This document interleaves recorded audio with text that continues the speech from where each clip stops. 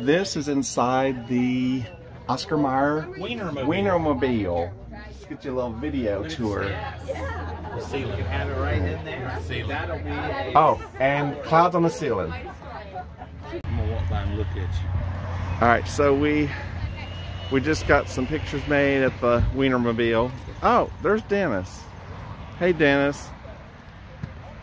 Hey, got nothing to say about this No. I'm mad because they're selling hot dogs and this one won't let us get one. Oh, I didn't say I wouldn't let us get Didn't one. bring no money.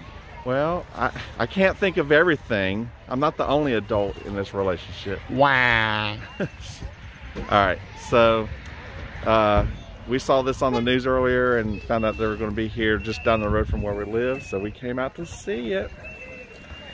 Hope you enjoyed.